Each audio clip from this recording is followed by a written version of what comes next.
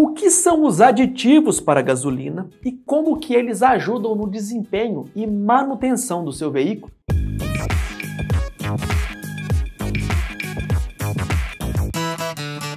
Fala, amantes da engenharia!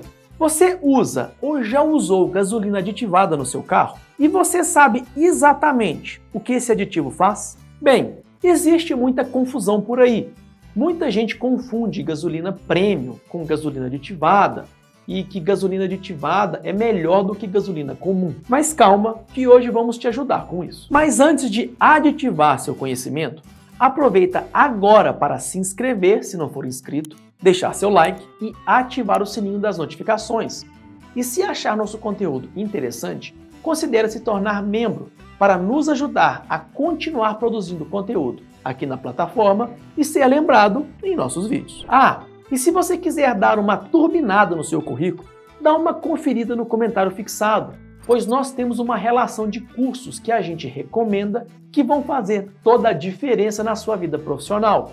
Sério, vale a pena dar uma conferida. A história dos aditivos para gasolina remonta aos primeiros dias da indústria automobilística, quando os motores a combustão interna começaram a ganhar popularidade. Nos primórdios dos automóveis, no início do século XX, a gasolina era simples e muitas vezes de qualidade duvidosa. Os motores tinham uma tendência maior a dar problemas devido à baixa qualidade do combustível disponível na época. Nesse período, o chumbo tetraetila tornou-se um dos primeiros aditivos amplamente utilizados na gasolina, principalmente para aumentar a octanagem e melhorar a eficiência dos motores. Nas décadas de 1930 e 1940, o chumbo tetraetila tornou-se um aditivo comum na gasolina, mas com o tempo foi descoberto que o chumbo tinha efeitos prejudiciais à saúde humana e ao meio ambiente. Nos anos de 1970 e 1980, devido a preocupações com a poluição do ar e os impactos do chumbo na saúde, muitos países começaram a proibir ou restringir o uso de chumbo tetraetila na gasolina.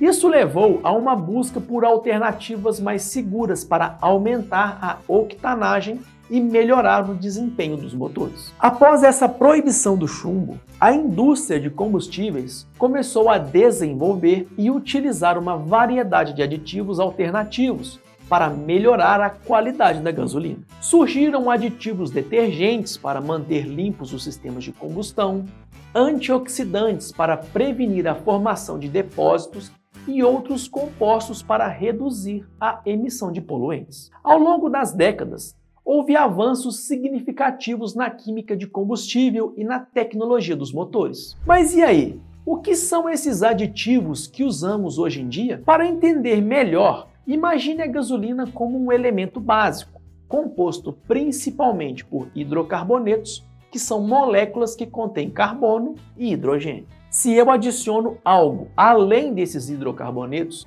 eu estou colocando um aditivo, e dependendo do que é colocado, ele serve para vários propósitos. Primeiramente, temos os aditivos para melhorar a octanagem. Um dos principais aditivos é o octano, utilizado para aumentar o índice de octanagem da gasolina. Ele reduz a tendência da gasolina de detonar prematuramente na câmara de combustão do motor, evitando a famosa batida de pino, que pode prejudicar o desempenho e eficiência do motor.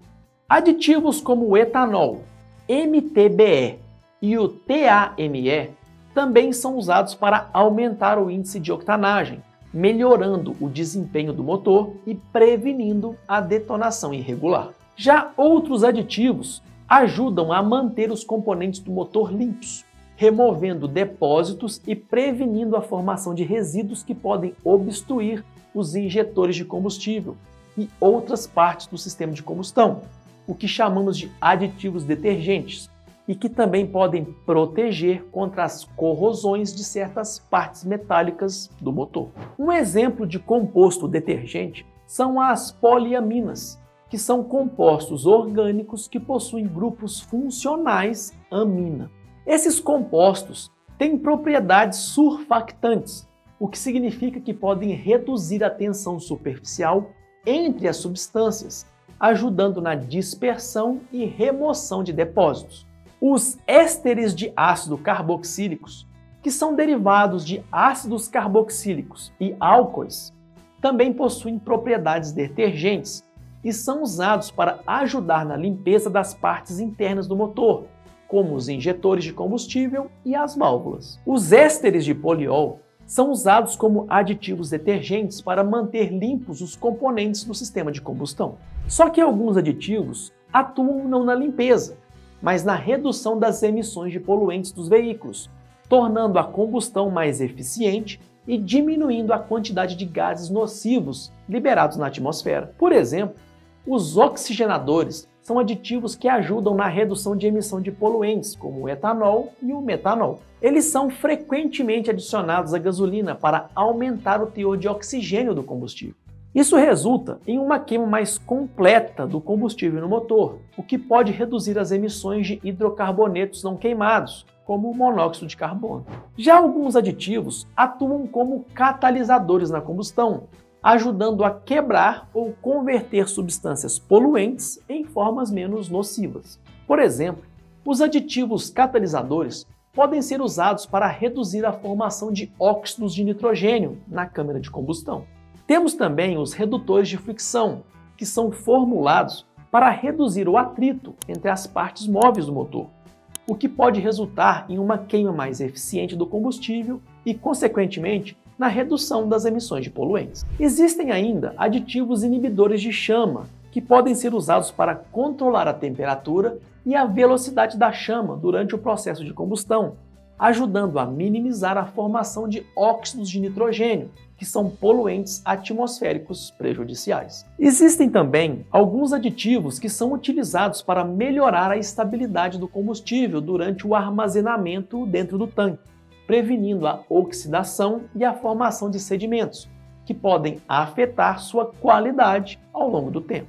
Os aditivos são selecionados e combinados em formulações específicas para atender aos requisitos técnicos e regulatórios, garantindo que a gasolina seja segura, eficiente e amiga do ambiente. Quer dizer então que os aditivos não são todos iguais? Pois é, os aditivos para gasolina não são todos iguais. Eles podem variar significativamente em termos de composição química, finalidade e eficácia. Existem diferentes tipos de aditivos com funções específicas para atender a diversas necessidades da gasolina e dos motores. A combinação e a quantidade específica de aditivos em uma gasolina pode variar entre diferentes marcas e produtos.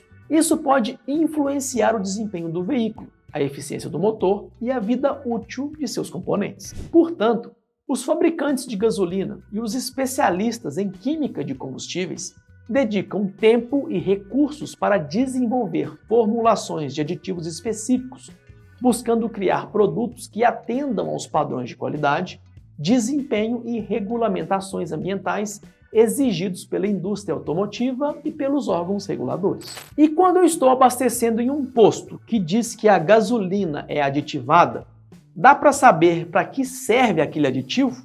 Infelizmente, os detalhes exatos sobre os aditivos específicos e as suas concentrações na gasolina aditivada de um posto em particular podem não ser divulgados ao público em geral. Essas informações normalmente são consideradas segredos comerciais pelas empresas de combustíveis. Quando um posto de combustível anuncia que sua gasolina é aditivada, isso significa que foram adicionados aditivos específicos à gasolina vendida nesse posto. Geralmente, os postos que oferecem gasolina aditivada afirmam que esses aditivos têm benefícios adicionais em comparação com a gasolina comum. No entanto, é comum que a gasolina aditivada ofereça características como maior poder detergente para manter o sistema de combustão mais limpo, maior proteção contra corrosão, melhor estabilidade durante o armazenamento e às vezes um índice de octanagem ligeiramente maior do que a gasolina comum. Mas não dá para saber exatamente as quantidades e nem os aditivos que estão lá dentro.